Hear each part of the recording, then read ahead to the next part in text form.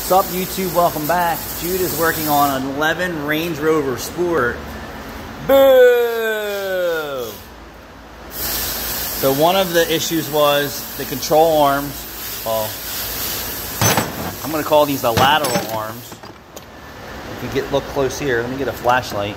So when you hit the brakes, you can actually feel it and hear it. Thump, thump, thump, thump.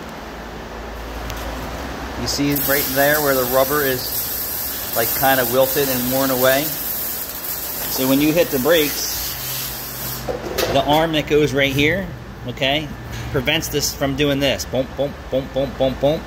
And then the other arm is actually the lower ball joint. So I call them the lateral arms, the rear, front and rear lateral arms.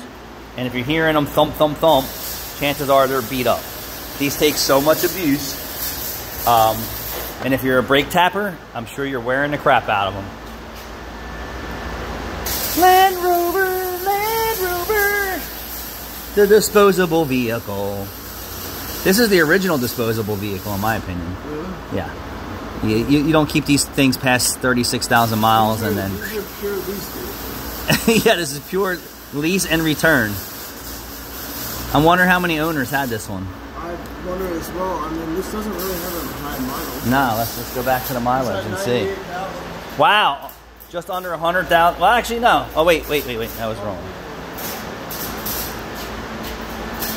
100, uh, 98,000. Isn't that some shit?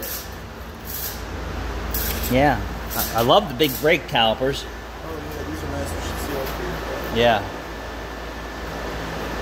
I do like them. Thanks for watching.